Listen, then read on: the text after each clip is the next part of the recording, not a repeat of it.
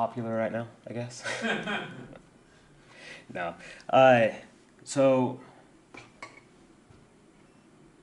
the the main idea that I want is that I don't like the bundle systems that exist right now for various reasons, and so I'm hoping that somebody, I was hoping that someone would be motivated by this idea to actually write it for me. So, all right. So there's not many people in here, but how many uh, are, of you are programmers or sysadmins? Or is everyone here a programmer then? Yeah? All right. So maybe it will get written. All right. So uh, currently, um, we have bundle systems. They're successful for the most part, right? People know about Flatpak, Snappy, AppImage. Uh, and I'm not sure with Snappy if it's called Snap, Snap D, Snappy. There's lots of pieces to it. So I just added Snap D in there, which I'll reference later a little bit. But they don't actually do what I want. They they bundle everything into I, I mean everything into a big file. And that's what everyone likes to call bundles. And you have to download them everything. You may already have a lot of the stuff that would be con- inside of that bundle, like Chrome. I don't know if anyone's seen the the uh, Snap package for Chrome, but it's like a gig for a web browser, and a lot of it is just because some of the libraries in there uh, we already have, but we're downloading them again, and that means they sit on our computer two times. Uh, so none of these really do what I want they have a lot of overhead, whether it's when you're starting an application that sits inside of that bundle, or uh, installing that bundle. You mount you when your computer's starting up, it's going to mount that as a file part of your file system. So there's overhead there. Uh, many of them are compressed in in what do they call it, Squish or Squash FS. Uh, that's a compressed format. So anytime you're going to run something from there, it needs to decompress it. And the biggest reason that I don't like them is because they're not mine. I just like running my own code. uh, why not? Well, I sort of went over that. They, they don't they don't tick all the boxes for me. I have a list of things that I want a package or a bundle system to do, and App AppImage, Flatpak, Snappy, uh, they don't do it. And why do I want my own? I just do. There's, there's no reason. I, I would rather uh, have my own. I'm working on a Linux distribution of my own that's sourced. I don't plan on giving it to anybody, but I'm calling it Apocalypse Linux, and it's a source distribution. So you you get the source and compile it. But I would like to somehow have bundles in there or, or package management instead of just saying, oh well, you want ncurses, go get the source and install ncurses or compile it yourself. So I came to the conclusion I don't want packages so much for end user applications. I want bundles. But looking at all of them that exist, none of them do what I want. So that's that's the big reason I want my own. And so looking at the existing ones, Flatpak, for example, uh, besides finding documentation on how it really works being difficult, uh, I mean, they have some documentation that says that this is this is what Flatpak is doing. This is how you bundle your application with Flatpak. None of them actually tell you what a Flatpak file looks like, the binary of that file. Where's the file system in it that's going to be mounted? Where's that? Where are all the meta information uh, in this package, and how do, the actual file definition? I couldn't find anywhere. The it runs uh, mainly desktop applications all your applications run in a sandbox or a container, which again, that's more overhead. And if you're just running a desktop machine and you trust the applications that you're running, why do you need them in a container? Are, are we afraid that someone writing an open source software is going to uh, purposefully try to hijack another process on your computer? It, the likelihood that a container is needed for desktop applications or applications that I run on my laptop is not, not it's not really likely. Uh, Linux has survived for this long without containerizing everything. Um, I don't think forcing everything into a container is going to make it any better. Applications are one big binary, so when you download that application, you're downloading everything that's needed to run that application. That sort of goes along with bundles, right? I mean, you're you're saying I don't want dependency uh, from other places. I want to include all the dependencies in this bundle, and you run it kind of like Mac does with their uh, with their application files, their app files. And again, it's desktop only. It, it, to run a command line program with Flatpak is really cumbersome. And so this is the best diagram I could find of how the Flatpak file looks and what it does. And you notice every application has a sandbox and it has data, code, and libraries. And then that bottom portion is sort of your shared libraries, the runtime. And I believe those are shared throughout all the applications. So, so it is minimizing some of the uh, some, some of that uh, code being duplicated in different places. It's, but it, it's not not exactly the way that I would like to see it. And then that brings us to Snap. The most irritating thing about Snap to me is that it runs a Snapd service, no matter what you're doing. You, you're not installing an application. You're not even running an application that is using Snappy, but it is still sucking up some resources on your computer. I think that's a complete waste of resources, really. You don't need to. Once an application is installed, why would you need a service running in the background? Unless it's for that application. To manage applications, you just need to, you should only have to run your application manager when you're installing or uninstalling something. You don't, you shouldn't have to have it run 24 7. Uh, a lot of people claim that the build system is too complex for Snappy. I, I haven't run through it myself, uh, and I don't know that it's too complex. I mean, we're writing a ton of software. I mean, software is really complicated to write as it is. I doubt that this is any more complicated, so that's just something people say. Uh, it runs in containers as well. Applications are one big binary. And then here, for sure, applications are comp- a compressed file system dynamically mounted by the host. So when you go to run an application that's in a snap, you it, it actually mounts that, that file system right then. So there is a startup cost for your applications when you're running them in snaps. And then app image. App image is actually rather similar to that, uh, where it, uh, a, a, combination of both of the things in Flatpak and Snap. You have desktop only. It runs your applications in a container or sandbox. Applications are one big binary. Again, that's sort of a benefit, but also something that I don't like about it. Uh, applications are compressed file system, dynamically mounted by the host again. When you double click that, it uh, the beginning of your app image is a binary that knows how to decompress the SquashFS uh, file system and mount it. And that's sort of what that the app image that first few bytes of the application is doing. And then after that, it goes and runs the application that it just decompressed and mounted.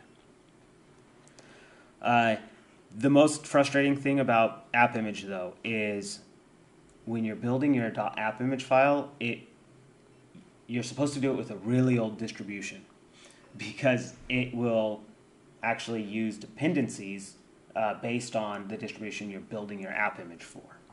So if you have the latest 16, uh, like 16.10 Ubuntu, um, or whatever the latest one is, there's a good chance that your app image won't run on a 14.04 because the dependencies that it expects are different. So they always say uh, on their main in their documentation they say get the oldest possible version that you can bundle on and, and do that, and then it'll work with all the future ones. So it's always, it seems to be really future compatible, but not backwards compatible. And I was going to ask, does anyone know if this came from Glick 2? Because they're very similar, and Glick 2 disappeared around the time the app image started. Is anyone familiar with Glick 2 or seen it? It it's uh, it was a similar project that was housed by GNOME, uh, and I mean it, it is really similar. It looks like it from features and how it works, it just looks like they got all the bugs out of Glick 2 and renamed it. But I can't find any sources saying uh, saying that. So if none of those work for me, then what I'm looking for though is I don't want any services. I don't want to have some overhead on my machine all the time. I would prefer if uh, we could just install an application and forget about it until it's time to uninstall it or update it. And the sort of the apt get or whatever application, uh, or I was calling this one SPM, uh, whatever application that is, should be able to manage it just when you want to alter it somehow. You want to install a new version of it, you want to uninstall it, uh, or you want to repackage it up for being uh, distributable again. Uh, it needs to work online and offline. The distribution of Linux that I'm working on for myself uh, is geared towards not having an internet connection. It, it's designed so it, the name of it is Apocalypse Linux, and the idea is that we no longer have network. How do you get get software installed on on your computer that someone else wrote? And Linux, that's kind of difficult right now. We rely on repositories. Uh, it needs to work for the desktop and CLI because I spend a lot of time in, on the command line, and there's lots of utilities that I install for the command line that don't exist or aren't as good on the desktop. And with all of these bundling systems, they seem to be focused on desktop, and that's it. So if I spend most of my time on the command line, I would like this to be able to install applications for me on the command line. I want zero start, startup costs, which means there's no compression, there's no containers, there's no mounting of file systems just in time. I, I want the minimal amount of startup cost is humanly possible. And then I don't want duplicate files. With all those other bundling systems, there's tons of duplicate files. If you have OpenSSL on your machine for each of those applications, you have OpenSSL like 15 times. And if they're different versions, they're going to be in memory different because ld.so looks at them and says, yeah, they're different, so I'm going to load it again. So, and, and not only do I not want duplicate files on the machine, I don't want to have to download duplicate files because if you're out in the middle of nowhere and you're doing this on a cell connection, it's really costly to re-download things. You don't want to download it if you don't have to. And then the features inside of the system that I, I, would really want. As a software developer, I want to know what versions of everything that's in memory. And I don't want to ship out code and have that distribution uh, build manager be able to dictate what version of the library I'm running. Because right now, if you if if we were to write, let's say we create a video game and we push it out and it, it's using uh, uh, OpenAL, or yeah, OpenAL. We don't know what version of OpenAL it's really running. Maybe the major version, we can say, oh, well, it's going to be OpenAL 2.10 is what we're going to ship with. But if 2.11 comes out, that distribution may up, upgrade that to 2.11. It's still the major version, so so it should work with our application, but it may not. And it might cause, un, uh, it, we might get some undefined behavior uh, in our application using OpenAL if they upgrade to 2.11. It's a dynamic library. That's sort of the benefit of dynamic libraries is you can upgrade them independently of the application, but it's also a problem because I can't guarantee that my application runs on every every version of of OpenAL within the 2.x. So I want I want to be able to say I want version 2.10 and that's it. If someone else needs 2.11 on that machine, they should be able to update that independently of my OpenAL 2.10. Then I want libraries are not installed into a central location, but into the folders with the applications. Does anyone remember how this works on Windows? If you want to, uh, if you want to install a DLL with your application, you just stick it right next to the binary. And it doesn't matter if someone else has openal.dll somewhere else on the computer, you have precedence if the DLL you want you're calling to load is sitting next to your DL, to your .exe. But Linux doesn't work that way, right? Linux says, "Hey, go to slash was it slash user slash lib and go grab whatever DLL's there if possible," and that's where it goes to look. It doesn't look if you're developing applications that you, you probably have run into this where you, you want like SDL.so you you want to use that but it's not installed on on the machine you're with. So you think oh well I'll just drop it next to my binary file that I that I have and when I run my application it'll find it right? Well it doesn't. Linux by default does not look anywhere besides the designated central paths for libraries. The only way to get it to look somewhere else uh, is to update your ld underscore library underscore path environment variable. And then you can say, well, look next to my exe. And that should work. So the developer's environment is the same as the user's environment, uh, eliminating the it works on my machine problem. This happened to me yesterday actually in a talk where it worked on my machine but not anyone else's. And I still don't know why that happened. We were running the same version of pretty much everything. There was a little bit of a difference in the they were running Ubuntu and I'm running Elementary, and that was the only difference that we could determine. And it seems that that was the problem. Probably because there was a dynamic library somewhere eh, on Ubuntu that was different than what I have on Elementary. So it wasn't working.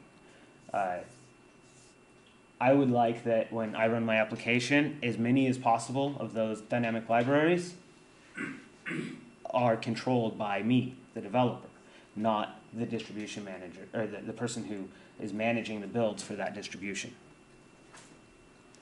Uh, and then CLI applications are installed just as if they were installed by a normal package manager. If you do apt-get uh, and install and you name off some library, your your binaries are installed into the user bin uh, location, that, or, or they're installed somewhere else and then symlinked over there.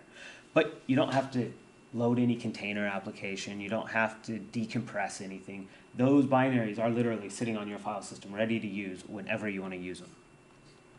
And so the thing here is, I was like, do we call this a native install? Because bundles aren't doing the same thing, but they're not not they're not necessarily native to your file system.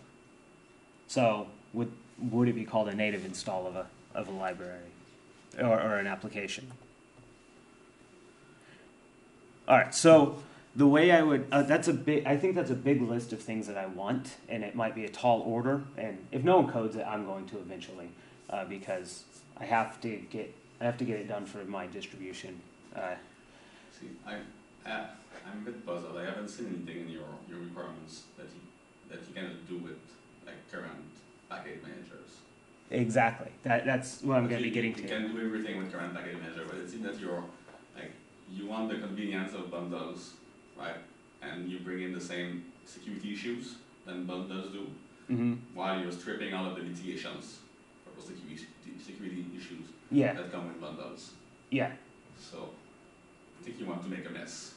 Well, we'll we'll get to this in a minute though. Uh, that's why it's uh, why it's a bundle bundle based package management. So we're not really doing bundles here. So so the idea is that packages are indexed by packages, right? If if you say I need I have a package and I'm going to depend on these five other packages. That's how that's how packages manage their dependencies, right? You say, okay, I'm writing my I'm going to write my video game, but I need SDL2. I need OpenAL1. I need uh, whatever other uh, uh, uh, OpenGL. I need, and you start listing off all the other packages that you need for my package to be able to run. That's sort of how like the .deb or .deb packages work. Uh, but instead of indexing by packages, what if we index by files? Because I can say I want SDL installed or SDL2, but I can't guarantee what version of those libraries are going to get installed. And I and what if multiple applications need different versions inside of a package manager? This happened to me just recently where I wanted to upgrade uh, a, a program I had, and when I tried to upgrade it because it wasn't in the repo, it was requiring newer versions of certain libraries, and it just completely broke everything when I upgraded. But doing this, what if we index by file? What if my application doesn't depend on packages, but it depends on specific files? And to do this, we could hash all the files that, that and that be their unique identifier. And when you install your your application, it's going to search inside of your database of all the files you have on your computer and say, do I have any of these files? And if I don't have any of those files, then I'll go download all of them. But if I do have those files, I'm just going to symlink to the one I already have, and I'm going to drop a little uh, a record in a database saying that this file depends on this other bundle or, or application. This this symlink is over here. So if I need to change that in the future, we can take care of those dependencies locally on that on that system.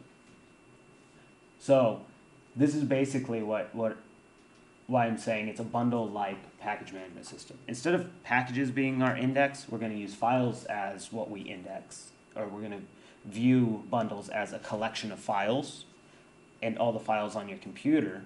Uh, then then we don't have to duplicate any of them because we know all the files we have. If we need them again, they're already there, and we just symlink them. And here I'm saying bundles are just folders. So a bundle could be looked at as sort of a fancy folder, just a folder that contains everything you need to run your application. And uh, it includes everything, everything that you could want for your application, including potentially user data, can be inside of this folder. Uh, and here's a little example layout of what I was thinking. So you have under opt, you have your SPM, and then under there you have your apps, and then you have your bundle name dot bundle, and that's just a folder. And in that folder, it contains all the binaries. It contains SBin, which is a little bit special.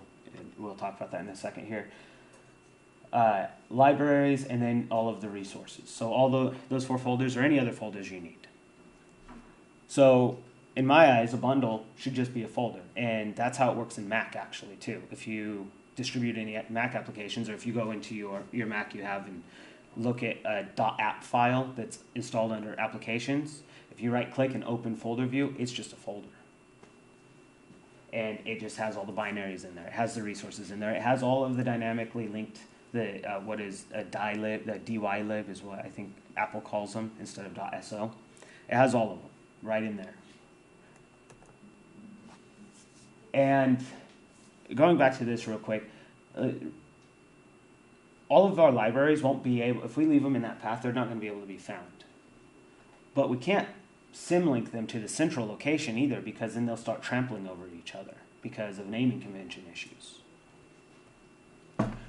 So how would we solve the issue of of those libraries not being accessible here? If, our, if we have to tell the the uh, dynamic linker where to find them at. So there's three possible ways that I that I could think of to do this. The first is every ELF binary has a header section where you can tag the libraries that you need to run. And then, but also you can have what's called an RPath in that tag header that says dynamic linker, here's where I want you to look for my libraries. And it's sort of that LD uh, library path, but it is set by your binary that you're running. And so the idea was initially I said, well, I could just write a utility program when you're bundling up your application and all the dependencies and everything. Why don't we just inject that tag into the binary? But then I, I started writing some code to do that, but it got really complicated because it it messes up with all of the addresses and the actual binary chunk of the, the the data segment of that binary file. So I decided that was not not the best way to go. If the RPath already exists, it's easy enough to update it. But if the developer didn't compile with the RPath in there, it's really difficult to add it. And then the second idea was, what if I, what if we monkey patched ld.so? So on on your computer, when you install SPM, we inject our our little bit of uh, code into uh, ld.so, and so it knows whenever it's whenever it goes to load any dynamic libraries for your application, it knows to go look where the application started from. But then we'd run into issues if ld.so got updated by by the distribution for any reason. And it's kind of a bad, like, hackish way to do that anyway. I don't want to mess with other people's binaries. So then the third way is using bash scripts. Now this kind of goes against my startup cost, no, no startup cost uh, feature that I want or uh, that this could be minimal though. So the idea here is having launcher scripts, and that's where that sbin comes in. So all of our binaries would go into the, the slash bin in that folder.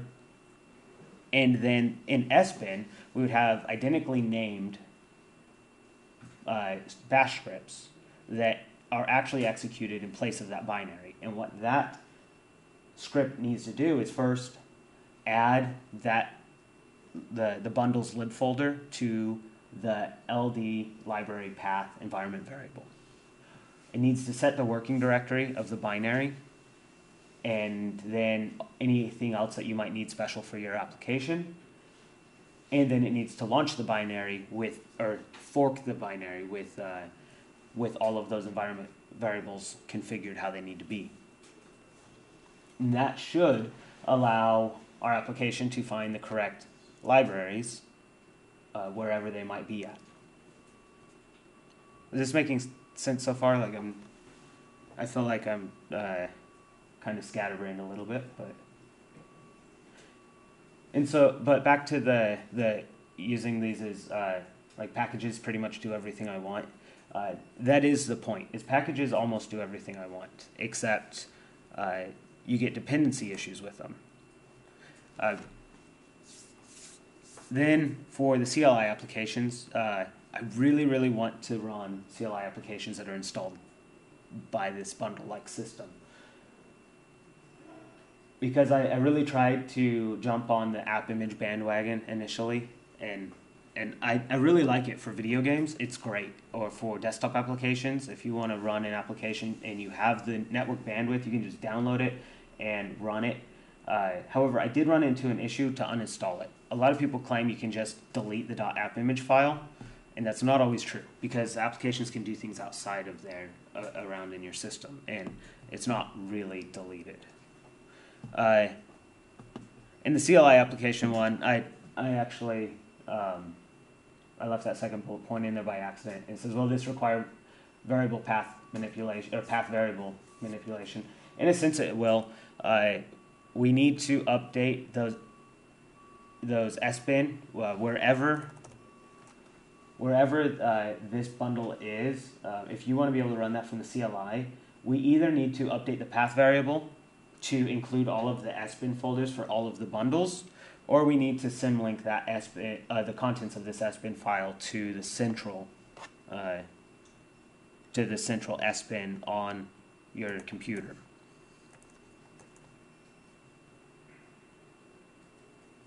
Okay, so again, one of the big points that I want is it needs to be online and offline. In an online environment, we don't actually care that it's one big file that gets downloaded.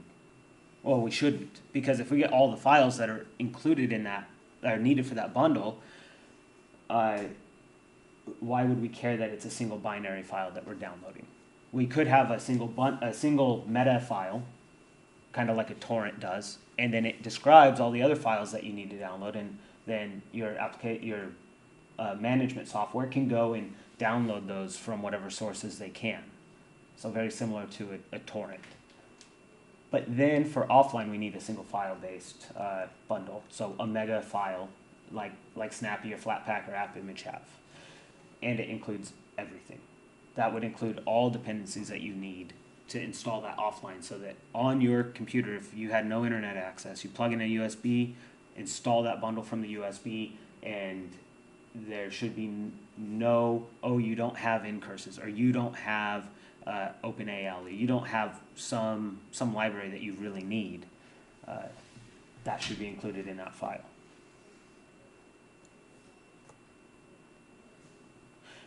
And the reason I like this idea of it being file indexed and in a way distributed is because this happens. Have you ever lost something like a repository? You go to update your application uh, or or install a new application for the distro you have, and the repositories aren't available I know uh, Bryan Lunduke just talked about this yesterday in one of his talks where he has this. He talks about this chip kit computer thing that he has, and he went to uh, go install stuff, and there's no repo for it now. The company went under, and so the servers are offline, and now the community is scrambling to get all of those binaries back into a repo so people can still have some software. And with this kind of a system, that can't happen. That's impossible because we're file based indexing, like a torrent system, and uh, we can distribute the repository. Anybody who has installed that application can share that application back up because we're, we're not talking about packages, we're talking about individual files that are uniquely hashed. And that's their ID also. So if their file doesn't match exactly to the file that you're needing, you're not going to get that file. You'll only get the specific file you need uh, from whoever might have it. And that does have some security risks, by the way, because you're relying on other people who have their computers, they've installed the applications. Uh, they might play with that binary file and somehow spoof the, the hash algorithm. I'm not exactly sure how they would do that, but it is a possibility because you're pulling files from someone else's computer. But the potential of having a peer to peer repo with this system would be it's cheaper free for package hosting. Right now, if you have uh, a repository, there, there are great nonprofits and companies that are willing to give you free hosting for your repositories for open source projects. But do we want to rely on that company always being around or that, that nonprofit always being around for our distribution of Linux or, or, or of your application to still be around? Do you, if they go under for any reason, or they decide they get a new CEO and they decide to shift their their interests, it could leave us without repositories. Like, what if uh, SourceForge, who actually hosts a lot of servers for, for different Linux distributions, uh, they give out repositories. What if they shift their business in- interests? What if they're sold again? Uh, or what if their hosting just breaks and it's out for a week? That means that nobody can can download our applications that we develop if that's where they are stored. However, uh, in a P2P, it's really hard to take that down. They're resilient to attacks, also, sort of. Uh, you can't. There's no real way to D, uh, to DOS a thousand different people who are contributing a little bit of bandwidth to upload their applications. They would have to DOS the, all of those machines all at the same time to effectively uh, to effectively attack this repository. Then the bandwidth is distributed too. So not one person is paying a ton of money to allow everyone else to download their applications. And if one node fails, the package is still available. So we don't have to worry about uh, like at Linode a couple times I have gone to update, uh, do an apt-get update. However, Linode's mirror of of the Ubuntu uh, repositories that they have locally were unavailable, so it timed out after 60 seconds and then proceeded to go up to Ubuntu's uh, repositories. Uh, that wouldn't happen.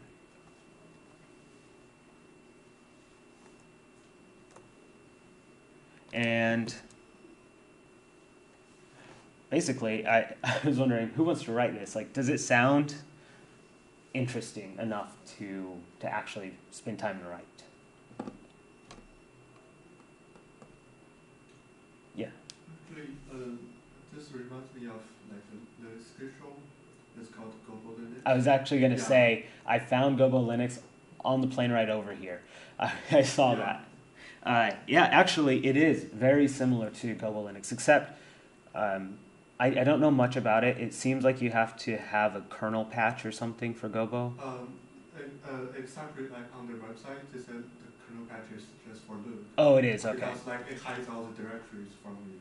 Oh, okay. Yeah, but you can you can like get rid of it Yeah, because the deal was like messy from from the Yeah, and I actually I plan when I get back home I'm gonna play with Gobo Linux because I I saw that on the way up here. The one thing that I don't I didn't necessarily like about it is or I don't understand. I may come to love it, but they're saying that you can have multiple versions of the same application installed, and Yeah, so I- like the program is like stored, for example, like pin, and I don't know, like mhm. uh, whatever program is in a folder, and all the versions are in separate folders. okay, Yeah, so like you can, if you require some version of the program, you can just uh, write the version in the directory. okay, Like I will go for go for that. But then there's this fo- a folder called current, which link to the like newest program version. okay. Yeah. Nice. That yeah. So uh, I was I was I saw that and it made me think like, man, now I don't I shouldn't even waste the time with the talk, but I do want to play with that one. I one. Do you know what Gobo's based on? What it's is it its own or is it I think it's on this one, but okay? Yeah. Yeah. I'll definitely be, be playing with that one, or figuring out how I can take that and put it into my into my distro because there's there's other things inside my distro that I was uh, that I'm working with. Is I built I'm building my own desktop environment so that if you have multiple like Raspberry Pi computers sitting in your case, you have one that's the host node and that's where your desktop sits. But when you run an application, you issue a command to go run that application on a different machine, but it because you're running the Xserve host on your, your front machine, you'll actually see the, the application running on your main main machine, but it's actually running on a different child node. So I'm, I'm working on that, that, and I haven't seen that anywhere, so I'm still pushing forward with, with my own distro. Because I, I have like 15 Raspberry Pis at home, and I wanted to use them all together and found out that unless you write applications specifically for doing that, you can't use them together. It, it, you don't get extra computing power. So I was thinking, well, I could run an application on that one and sort of get like a portal to see it on, on my machine here. It may not communicate with this machine, but at least it's running and, and I can still see it and it doesn't slow down my other applications. So, but thank you. That's, I, I am interested in Gobo. Any questions, concerns? I know I, I don't think I covered everything that, that I wanted to, but no, we're good. All right. Um, does anyone know what time that, that this is supposed to end? Because I feel like it's really I it's really short. No, uh, ten fifteen. Perfect timing. All right. Well, thank you for uh, sitting and listening to me rant about existing bundle systems and how I think mine's better. But uh, if you want, uh, it, uh, if no one's going to be developing it, I will be developing it in the next six months. So, uh, what one thing that really made me think about this too was there was a failure with NPM uh, not too long ago when, well, maybe it was a while ago now, when they sort of got into an argument and NPM just went offline and many many servers that they tried to update just broke because their repo was no longer available. Does anyone else remember this happening, or does anyone use JavaScript or do program in JavaScript? No, you're lucky. All right. Well, thank you guys.